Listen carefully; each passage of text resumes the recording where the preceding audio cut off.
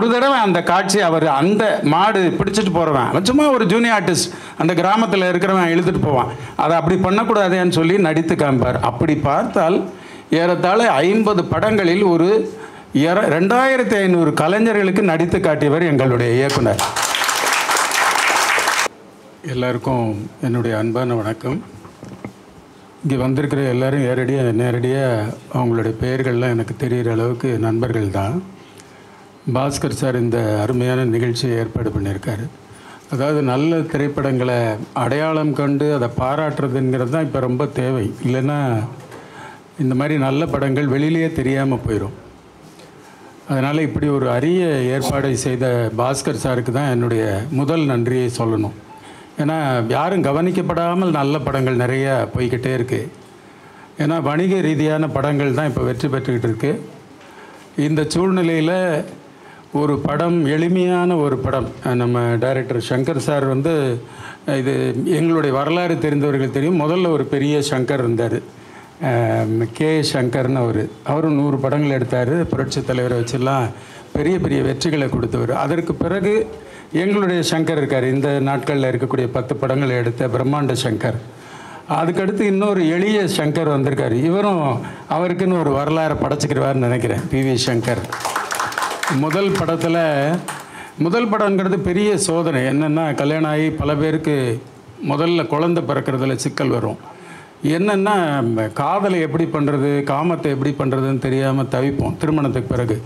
அந்த மாதிரி படம் பண்ணுறதுக்கு வாய்ப்பு கிடைத்த பிறகு முதல் கதை எதை பண்ணுறதுங்கிறதுல குழப்பம் எல்லா இயக்குநர்களுக்கு இருக்கும். அதனால் பல இயக்குனர்கள் முதல் திரைப்படத்தில் வந்து மிஸ் ஆயிடுவாங்க ரொம்ப ரேராக சில பேர் தான் வெற்றி பெற முடியும். அது வெற்றி பெற்றுட்டால் அந்த பயணம் நல்லா இருக்கும். எங்களுடைய எங்களுடைய குருநாதர் மாதிரி எங்கள் குருநாதருக்கு அமைஞ்ச மாதிரி பதினாறு வயதுலேங்கிற ஒரு வெற்றி ஏறத்தாழ ஐம்பது ஆண்டுகள் நிலைத்த புகழை அவருக்கு கொடுத்துச்சு. ஏன்னா இயக்குனர் இமயம் அப்படிங்கிறது அந்த ட்ரெண்ட் செட்டர்னு நம்ம சொல்கிறோம் இல்லையா? இதெல்லாம் இப்போ நான்லாம் ஏறத்தாழ முப்பத்தைந்து ஆண்டுகள் எங்கள் டைரக்டரை பார்த்து வியந்துக்கிட்டே இருக்கேன். என்னென்னா படம் எடுக்க வெளியில் இருந்து ரசிகர்களாக நம்ம ஒரு இயக்குனரை ரசிக்கிறதுங்கிறது வேற. அந்த தொழிலுக்கே வந்து அந்த அது மாதிரி படம் பண்ணணும்னு நினைக்கும் பொழுது அவர் கூடயே இருந்து அஞ்சு வருஷம் கற்றுக்கிட்டா கூட திருப்பி நம்ம படம் எடுக்கணுங்கும் போது அந்த கம்யூனிகேஷன் விஷுவல் கம்யூனிகேஷனுங்கிறது அவ்வளோ எளிதில்லை. இப்போ எங்கள் டைரக்டர் இப்போ அந்த பூமி ம- இப்போ மொழியில் இந்த பிள்ளைங்கள்லாம் நடித்து காமிச்சதை பார்த்து மெய் மறந்து பாராட்டினார் இல்லையா? அதை மாதிரி ஒரு திரைப்படத்தை கம்யூனிகேட் பண்ணுறது நம்மள்ட்ட கதை இருக்கும் திரைக்கதை இருக்கும் வசனம் இருக்கும் நம்ம ஃபோட்டோகிராஃபி இருக்கும் எல்லாமே இருக்கும். ஆனால் நம்ம ஒன்று சொல்ல வருவோம் திரையில் வேறையாக வந்திருக்கும். ஆனால் இந்த பிரிட்ஜை யார் கனெக்ட் பண்ணி சொல்லிடுறாங்களோ இல்லை ஒருவேளை அவங்க கனெக்ட் பண்ணி சொல்லாமல் கூட ஆடியன்ஸுக்கு கனெக்ட் ஆயிருதோ அந்த படங்கள் வெற்றி பெறுது. அப்படி ஒரு மிகப்பெரிய வெற்றியை கல்வன் படம் பெற்றிருக்கு. நான் நேற்று போய் படத்தை பார்த்தேன். இப்போ படம் பார்க்கும் பொழுது என்னென்னா இப்போ என்னை மாதிரி ஒரு அஞ்சாயிரம் ஆறாயிரம் படம் பார்த்து உலக சினிமாக்கள்லாம் பார்த்தவங்க என்னென்னா ரொம்ப மேதாவியாக உட்காந்துட்டு எதையுமே பாராட்டுறதில்லைன்னு உட்காருவோம். இது ஒரு கெட்ட பழக்கமாக இருக்கும். படித்தவர்களுக்கு நிறைய படம் பார்த்தவர்களுக்கு. என்னென்னா இப்போ முதல் குழந்தை வந்து பேசும் பொழுது சந்தோஷமாக இருக்கும். ரெண்டாவது குழந்தை பேசும்போது அந்த அப்பாவே சொல்வார் "யா சும்மா கற்றுக்கிட்டு ஓரம் போ அப்படின்றவார். ஏன்னா முன் அனுபவம் இருப்பவர்களுக்கு அது சாதாரணமாக தெரியும். ஆனால் ரசிகனா ஒவ்வொரு படத்தையும் ரசிக்கிற பழக்கம் இருக்கிறவர்களுக்கு அந்த படம் வெற்றி பெறணும். என்னோட என் மனைவி பார்த்தாங்க அவங்க சொன்னாங்க படம் ரொம்ப பிரமாதமாக இருக்குங்க அப்படின்னாங்க. நான் சொன்னேன் "ப- தானே இருக்குது இதுக்கு இவ்வளோ பெரிய பாராட்டான்னு எனக்கு தோணுச்சு. ஆனால் ஒட்டுமொத்தமாக படத்தை பார்த்து முடிக்கும் பொழுது எந்த ஆரோ எங்கே போய் கரெக்டாக தொடணுமோ அந்த இடத்தை டைரக்டரும் சரி இந்த குழுவும் சரி கொண்டு போய் சேர்த்ததுங்கிறது தான் வெற்றி. அந்த வெற்றியை கல்வன் அடைஞ்சிருக்கு. இப்போ நம்ம எனக்கு முன்னாடி பேசுகிறவங்கலாம் சொன்னாங்க விமர்சனமாக ஒரு படத்தை யார் வேணாலும் பேசிடலாம். இப்போ இந்த திருக்குறளுக்கு வந்து இரநூத்தம்பது பேர் உரை எழுதினாங்க. அவருக்கு கூட தெரியாது. இதில் இதை தான் எழுதுறோன்னு வள்ளுவர் கூட தெரிஞ்சிருக்காரு. ஆனால் இரநூத்தம்பது பேர் இஷ்டத்துக்கு எழுதுவான். இதை தான் அவர் நினச்சிருப்பாருன்னு. ஆனால் ஒரு திரைப்படத்தை வந்து லட்சக்கணக்கான பேர் பார்க்குறாங்க. அவங்க எல்லாருக்கும் ஒரு கம்பைண்டாக அந்த படத்தை பிடிக்கிறதுங்கிறது பெரிய அதிசயம் அந்த ஆச்சரியம் சில பேருக்கு தான் நடக்கும். எங்கள் டைரக்டரோட நடிப்பை நாங்கள் பாராட்டணும்னு சொல்ல முடியாது. ஏன்னா நாங்கள் பணியாற்றும் பொழுது நாங்கள் பார்த்துருக்கோம். நீங்கள் சும்மா அங்கே ஒரு மாடை பிடிச்சிட்டு அந்த பக்கம் ஒரு ஜூனியர் ஆர்டிஸ்ட் போகணும் அப்படின்னு சொன்னால் நாங்கள் போய் சொல்லிட்டு வந்துடுவோம் உதவி இயக்குனர்கள் எங்கள் டைரக்டர் அப்படி கேமராலேருந்து பார்ப்பாரு அவன் கிராஸ் பண்ணுவான் ஐயோ எவன் அந்த மா மாடை பிடிச்சிட்டு இழுத்துட்டு போக சொன்னதுன்னா? இப்போ நம்ம நான் தான் உதவிக்கனா நான் சொல்லுவேன் சார் நான் தான் சார் சொன்னேன் யோ அப்படியே மாடை இழுத்துட்டு போவேன் இது கூட உனக்கு சொல்லித் தரலையே. நீ இல்லை மெட்ராஸில் இருந்து வந்தவையா? உனக்கு தெரியாதையான்னு சொல்லிட்டு நேராக அந்த இடத்துக்கு போய் ஒரு தடவை அந்த காட்சி அவர் அந்த மாடு பிடிச்சிட்டு போகிறவன் சும்மா ஒரு ஜூனியர் ஆர்டிஸ்ட் அந்த கிராமத்தில் இருக்கிறவன் இழுத்துட்டு போவான். அதை அப்படி பண்ணக்கூடாதேன்னு சொல்லி நடித்து காமிப்பார். அப்படி பார்த்தால் ஏறத்தாழ ஐம்பது படங்களில் ஒரு இர- ரெண்டாயிரத்தி ஐநூறு கலைஞர்களுக்கு நடித்து காட்டியவர் எங்களுடைய இயக்குனர். இப்போ கமலஹாசன் கூட சண்டை கமலஹாசனுக்கு இப்படி தான் நடிக்கணும்னு சொன்னோன்னே கமலஹாசன் அவர் குழந்தை நட்சத்திரம். அவர் ஏறத்தாழ முப்பது ஆண்டு அனுபவத்தோடு வர்றாரு. இந்த டைரக்டரை நம்ம தானே டைரக்டர் ஆகணும். இவர் வந்து நமக்கு முத படம் பண்ணும்போது இப்படி நடின்னு சொல்லி கற்றுக் கொடுக்குறாருன்னு எங்கள் இயக்குனர் கூட அவர் போட்ட சண்டைகள் எல்லாம் சம்பவங்களை எங்களுக்கு சொல்லியிருக்காரு. ரஜினி சார் கூட சண்டை ராஜேஷ் கண்ணா படம் சிகப்பு ரோஜாக்கள் ஹிந்தியில் எடுக்கும்போது அவர் ஒரு ஷார்ட் சொல்லிட்டாருன்னு உடனே, நீ டைரக்ட் பண்ணியான்னு சொல்லி தூக்கி எரிஞ்சிட்டு போனேன் பெரிய மாமேதை எங்கள் டைரக்டர் இவரெல்லாம் நாங்கள் பார்த்து அதிசயப்பட்டுக்கிட்டே இருப்போம். ஒவ்வொரு நிமிஷம் இப்போ என்னுடைய எனக்கு என் கூடயே ஒர்க் பண்ண வீரசிங்கெல்லாம் இங்கே வந்திருக்காரு. நாங்கள்லாம் வந்து அப்படியே ஆனால் எங்களுக்கெல்லாம் ஒரு சின்ன வருத்தம். படங்களை பார்க்கும் பொழுது என்னென்னா எங்களை என்னால் வந்து புரட்சி தலைவர் எம்ஜிஆரை வந்து சாதாரண கதாபாத்திரங்களாக நடிக்கிற மாதிரி பார்க்கவே முடியாது. அவர் அப்படி நடிக்காமல் ஹீரோவாகவே நூற்றி இருபத்தஞ்சி படம் நடிச்சுட்டு போனதில் தான் எனக்கெல்லாம் மகிழ்ச்சி. அது மாதிரி புலி மாதிரி பார்த்த எங்கள் இயக்குனரை பூனை மாதிரி ஒரு படத்தில் நடிக்க வைக்கிறதுங்கிறத பார்க்குறது எங்களால் சகிச்சுக்கிற முடியல. அந்த உண்மையை சொல்ல தான் வேணும். ஒரு தடவை சிவகுமார் சார் ஃபோனில் எங்கள் டைரக்டர்கிட்ட ஒரு மணி நேரம் பேசினார். என்னையா நீ எவ்வளோ பெரிய டைரக்டர்? நீ போய் இந்த சின்ன பசங்கள்லாம் ஏதோ நடிக்க கூப்பிட்றாங்கன்ட்டு போய் இப்படிலாம் நடிக்கலாமையா? எங்களால் பார்க்க முடியலையா? உன் தலையை வெட்டி ஒருத்தன் பையலை வச்சுக்கிட்டு அவன் சுற்றிக்கிட்டே அலையறான்னு ஒருத்தன் படம் பண்ணுறான் இந்த படத்தெல்லாம் எப்படியா ஒத்துக்கிட்டேன்னு ரொம்ப உரிமையாக சிவகுமார் சார் வந்து எங்கள் டைரக்டர் கூட சண்டை போட்டார். ஒரு மணி நேரம். அதனால் எங்களுக்கு அவர் நடிக்கிறத பார்க்கும்போது அவர் ஏன்னா ரெண்டாயிரம் ஒரு பல்கலைக்கழகம் ரெண்டாயிரத்தி ஐநூறு கலைஞர்களை உருவாக்குனவர் அவரால் வாழ்வு அடைந்த நட்சத்திரங்கள்னா ஒரு ரெண்டாயிரம் பேர் இருப்பாங்க. இவ்வளோ பெரிய மேதை. நான் டைரக்டர் ஒரு தடவை ஈஸ்வரன் படத்தில் நடிக்கும்போது அவருடைய கேரவனில் உட்காந்து பே பேசினேன். அப்போ சந்திக்கிறதுக்காக போயிட்டு நான் கேட்டேன். கேரவனில் ஒரு பனியன் வேஷ்டி போட்டுட்டு உட்காந்துட்டு காட்சிகள் நேரத்தில் கூப்பிடுவாங்கன்னு உட்காந்துருந்தார் சார் நான் கேட்டேன் சார் இவ்வளோ பெரிய இயக்குனராக இருக்கக்கூடிய நீங்கள் இப்படி எப்பயாவது கூப்பிட்டா போய் நடிக்கலாங்கிற மாதிரி மனநிலையெல்லாம் எப்படி சார் உங்களுக்கு வருது? எனக்கே வரலை சார். என்னவே எவனாவது நடிக்க கூப்பிட்டானா ஏதாவது நல்ல கேரக்டர் இருந்தால் சொல்லுங்கள் இல்லைன்னா வேண்டாம்னு சொல்கிறேனே சார். எப்படி இப்படி நீங்கள் மாற்றிக்கொள்கிறேன்னா அப்படிப்பட்ட ஒரு வீரியமான கலைஞனால தான் அந்த மாதிரி மாற்றத்திற்கு தயாராக முடியும். இப்போ நம்மள மாதிரி கமர்ஷியலாக இருந்தால் முடியாது. அவர் ரெண்டாவது அவர் வந்து அவருக்கு இன்னொரு பெரிய ஃபீலிங் உண்டு. என்னுடைய படம் உலகம் படத்துக்கு ஆடியோ ரிலீஸ்க்கு வரும்போது சொன்னார் யோ உன்னுடைய படத்தோட கதாநாயகி அழகாக இருக்கா? பார்க்க வரலான்ட்டு வந்தா நீ பாட்டில் அந்த பொண்ணு வரலன்னு சொல்கிறியா அப்படின்னு சொல்லி சொன்னார். அது மாதிரி இங்கே கூட இவனா வந்திருந்தா இன்னும் கூட சந்தோஷமாக இருந்திருப்பேன் எங்கள் டைரக்டர் அப்படி தன்னை இளமையாக வைத்திருக்கக்கூடிய ஒரு இயக்குனர் எங்களுடைய டைரக்டர் அவருடைய இளமை தான் இந்த தொடர்ந்து அவர் திரைப்படங்களில் அவர் நடிக்கிறதுக்கு காரணம்னு நான் நினைக்கிறேன். ஏன்னா இப்போ கிளின்ட் ஸ்டூடுன்னு ஒரு பெரிய ஹாலிவுட் நடிகர் இருக்கார். தொண்ணூற்றி நாலு வயசு. இப்போ அடுத்த மாதம் கூட அவருடைய படம் வெளியாக போகுது. டைரக்ட் பண்ணுறாரு ஒரு நடிகராக தன்னுடைய வாழ்க்கையை ஆரம்பித்து திரைப்படங்கள் எடுத்து பெரிய சூப்பர் ஹிட் படங்களை கொடுத்து ஒரு சூப்பர் ஸ்டாராக இருந்து தொண்ணூற்றி நாலு வயசுலையும் இப்போ வந்து தன்னுடைய படம் வெளியாக போகுதுன்னு அதுக்குரிய மு- முன்னோட்டமான காட்சிகளுக்கெல்லாம் வந்து வந்து நிற்கும் போது எங்கள் டைரக்டர் தான் நாங்கள் பார்க்குறோம்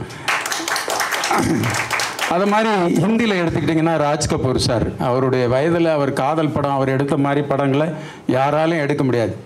அதனால் இப்போ என்னென்ன அலைகள் உயதல் மாதிரி படத்தை பார்த்து எங்களால் வந்து இன்னொரு காதலை ரசிக்கவே முடியாது. ஏன்னா என்ன மாடர்னாக நீங்கள் சொன்னாலும் அதில் இருக்கக்கூடிய எளிமையும் யதார்த்தமும் அந்த ரியாலிட்டிங்கிறத டச் பண்ணுறதுக்கு ஆட்களே கிடையாது. ஆனாலும் அந்த படங்களை பார்க்காத அடுத்த தலைமுறை வந்துருச்சு. இப்போ டில்லி பாபு சார் அவர் இன்ட்ரடியூஸ் பண்ணுற இயக்குனர்கள் அவங்களுக்கு வந்து பழைய ஒரு ரெண்டாயிரம் மூவாயிரம் படங்கள் தெரியாது இல்லையா? ஸ்ரீதர் இப்போ நம்ம நான் எனக்கு முன்னாடி பேசின சொன்னார் ஸ்ரீதர் ஒரு ட்ரெண்ட் செட்டர் அப்படின்னு. இப்போ நாங்களே நிறைய ட்ரெண்ட் செட்டரை பார்த்துக்கிட்டே வரோம். அதுக்கப்புறம் எங்கள் டைரக்டருக்கு பிறகும் நிறைய ட்ரெண்ட் செட்டர்ஸ் வந்துட்டாங்க. இன்றைக்கி இருக்கக்கூடிய லோகேஷ் கனகராஜிலேருந்து இவங்கெல்லாம் ஆயிரம் கோடி ரெண்டாயிரம் கோடிக்கு படம் பண்ணுறாங்க இப்போ அட்லிலாம் எடுத்துக்கிட்டிங்கன்னா thousand crores thousand five hundred க்ரோர்ஸுக்கு படம் பண்ணுறாங்கும் போது இன்றைக்கு உலக பணக்காரர்கள் இப்போ நீங்கள் அம்பானி அதானின்னு சொன்னீங்கன்னா ஒரு திரைப்படத்தை வெற்றி பெற்று ஒரு ஆயிரம் கோடி சம்பாதிக்கக்கூடிய அந்த இயக்குனர் சமமாக போய் டின்னர் சாப்பிடுவார். அப்படிப்பட்ட பவர்ஃபுல் மீடியா நம்மளுடைய சினிமா. இந்த துறையில் இருக்கிறோங்கிறது பெருமை. அந்த துறையில் ஒரு பெரிய பெரிய இயக்குனர்கிட்ட பணியாற்றணும் பிறகு அதே மாதிரி பாக்யராஜ் சார்ட்ட நான் பணியாற்றிருக்கேன். அவர் என்னை நடிகரை அறிமுகப்படுத்தியிருக்காரு. டைரக்டர்கிட்ட அஞ்சு வருஷம் இருந்திருக்கோம்.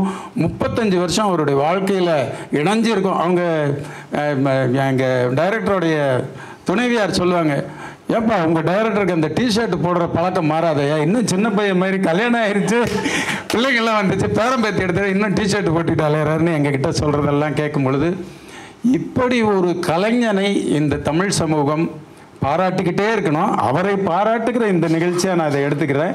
பி வி சங்கருக்கும் சரி தினா பிரமாதமாக நடிச்சிருந்தார். ஜிவி பிரகாஷ் பாருங்க அவர் ஒரு இசையமைப்பாளராக இருந்துக்கிட்டு இந்த படத்தில் அப்படியே தன்னை அவர் இருக்கா ஒரு ஹீரோ இருக்காருங்கிற தெரியாத அளவுக்கு தன்னை கரைத்து கொண்டு நடிச்சிருக்கிறார். இவானா பிரமாதமாக நடிச்சிருக்காங்க. என்ன இப்போ ஸ்க்ரீன் பிளேயாக நாங்கள் ஏதாவது குறை சொல்லணும் அப்படின்னா சத்தியமங்கலத்தில் இவங்க ரெண்டு பேரை தவிர இந்த கதாபாத்திரங்களை தவிர வேறு யாருமே கெட்டவங்களா இல்லை. இவங்க ரெண்டு பேர் மட்டும் எதுக்கு சத்தியமங்கலத்தில் அப்படி திருட்டு பசங்களாக இருக்காங்கங்கிறதுக்கு சூழ்நிலையை கொஞ்சம் அமைச்சு கொடுத்துருந்தா நல்லா இருந்திருக்கும் அப்படிங்கிறதுலாம் சும்மா ஒரு சீனியருங்கிற முறையில் சின்னதாக சொல்லணும்னு நினைக்கிறேன். அதை மாதிரி ம- பெரியவர் அவர் நடி எங்கள் டைரக்டர் நடிக்கிறதுங்கிறது சொல்லவே வேண்டியதில்லை.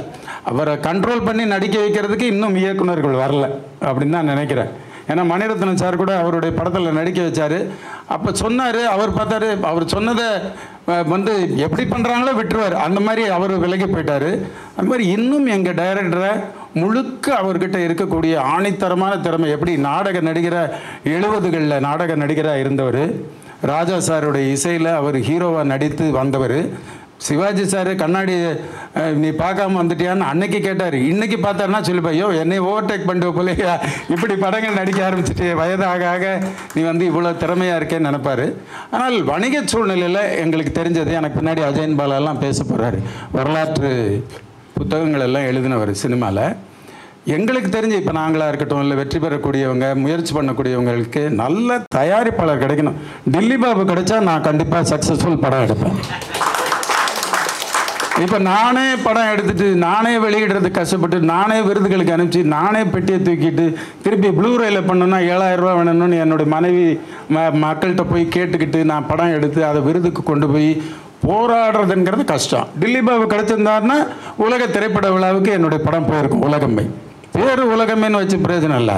நல்ல தயாரிப்பாளர் இருக்கணும். அது மாதிரி வெளியீடு சரியாக பண்ணணும். இப்போ மூன்றாவது வீக் நடக்குது. நேற்று போய் பார்க்கும்போது ஏறத்தாழ திரையரங்கம் முழுக்க நிரம்பி இருக்கு. இப்போ இவருக்கு அந்த சட்டம் பொருந்தும். நாலு வாரம் கழித்து தான் வந்து ஓடிடியில் கொடுக்கணும்னு ஒரு சட்டம் கொண்டாந்தாங்க. நம்ம ஆக்டிவ் ப்ரொடியூசர்ஸ் கவுன்சிலில் அது அவருக்கு பொருந்தும். என் படத்துக்கு அப்படி சொல்லும்போது நான் சொன்னேன் தனஞ்சயன் சார்ட்டு சார் வா ரெண்டாவது நாளே வந்து எவனாவது வாங்குவானான்னு யோசிச்சுக்கிட்டு இருக்கோம். நீங்கள் நாலு வாரம் வரைக்கும் விற்கக்கூடாதுன்னு சொல்லிக்கிட்டு இருக்கீங்களேன்னு. ஆனால் இவருக்கு பொருந்தும். ஏன்னா படம் தேட்டரில் ஓடிக்கிட்டு இருக்கு. ஆனால் விஜய் டிவிக்காரங்க வாங்கிட்டாங்க. ஏழு கோடி ரூபாய்க்கு. எனவே கமர்ஷியலாக ஒரு ஒரு ஜிவி பிரகாஷ் இருக்கணும். எங்கள் டைரக்டர்லாம் வெறும் நடிகர் இல்லை நட்சத்திர நடிகர். அவருக்கு கொடுக்குற சம்பளம்லாம் நீங்கள் கேள்விப்பட்டீங்கன்னா ஆச்சரியப்பட்டுருங்க. சாதாரண ஆள் இல்லை எங்கள் டைரக்டரு அவர் இயக்கத்துக்கு வாங்கின சம்பளத்தை விட அதிகமான சம்பளம் வாங்கி கொண்டு இருக்கிறார் இப்போ நாங்களாம் நடிக்க வைக்கிறனா கூட கஷ்டம். யோ எனக்கு சம்பளம் தருவே கரெக்டான எங்கள் மேலே கருணை வச்சு அவர் நடித்தாதான் எங்கள் படங்கள்லாம் நடிக்க முடியும். நாங்கள் நடிக்க வைக்க முடியும் அவரை. அப்படிப்பட்ட ஒரு நடிகர் நட்சத்திர நடிகர் தினா இருக்கார். இப்படி இசை ஜிவி பிரகாஷ் பெரிய பிவி சங்கருடைய கேமரா எக்ஸ்ட்ராடினரி என்னுடைய மனைவி சொன்ன உங்கள் படத்தில் வந்து பெரிய மைனஸ் கேமரா தான். இந்த படத்தில் பெரிய ப்ளஸ்ஸே வந்து கேமரான்னு சொன்னாங்க. ஒரு நிறைய படங்களுக்கு ஒளிப்பதிவு செய்துவிட்டு முதல் படம் இயக்கம் செய்திருக்கிறார். எனவே டெல்லி பாபுக்கு என்னுடைய பாராட்டு. நல்ல வணிக சூழ்நிலை நல்ல நட்சத்திரங்கள் கிடைத்து அவங்க இந்த மாதிரி கதையை ஒத்துக்கிறணும். இப்போ நம்ம போய் சொன்னால் ஒத்துக்கிறணும் இல்லையா? அருமையான ஒரு எளிய கதை. இது ஒன்றும் ஏபிசிடி மாதிரி அம்புலி மாமா மாதிரி ஒரு கதை. இதில் வந்து பெரிய சூழ்ச்சிகளோ தந்திரமோ கிடையாது. ஃப்ளாஷ்பேக்னால் ஸ்ட்ரைட்டாக ஓப்பன் பண்ணி அதை ஸோ அனிமேஷனில் சொல்லிடுறோம். ஒரு சிரமமும் இல்லை. அது பாட்டில் ஒரு சர்க்கஸ் கதையை சொல்கிறோம் எழுபத்தஞ்சில் டிவி வந்ததுனால சர்க்கஸ் போயிடுச்சுங்கிறோம் அதில் பெருசாக லாஜிக்ஸ் எல்லாம் பார்க்கக்கூடாது. மேஜிக் ஒர்க் அவுட் ஆயிடுச்சு இந்த படம் வெற்றி அடைந்து விட்டது. அதனால் லாஜிக்ஸை பற்றி யோசிக்க வேண்டியதில்லை. எந்த நேரத்தில் வனவிலங்குகளுடைய தடை சட்டம் வந்தது இப்படிலாம் யோசிச்சுக்கிட்டு இருந்தோம்னா படத்தை ரசிக்க முடியாமல் போயிடும் படத்தை தாராளமாக ரசிப்பதற்கு உணர்ச்சியுடைய தொடர்ச்சி இருக்குது அதனால் இது வெற்றிகரமான படம். இதை ஒத்துக்கொண்டு எடுத்த டெல்லி பாபு சாருக்கு என்னுடைய வாழ்த்துக்கள். வந்திருந்து அனைத்து நண்பர்களுக்கு வாழ்த்துக்கள் எங்கள் டைரக்டருக்கு சின்ன படங்கள்லாம் நீங்கள் நிறைய நடித்து எங்களை மாதிரி இயக்குநர்களை காப்பாற்ற வேண்டும் என்று கேட்டுக்கொள்கிறேன். நன்றி வணக்கம்.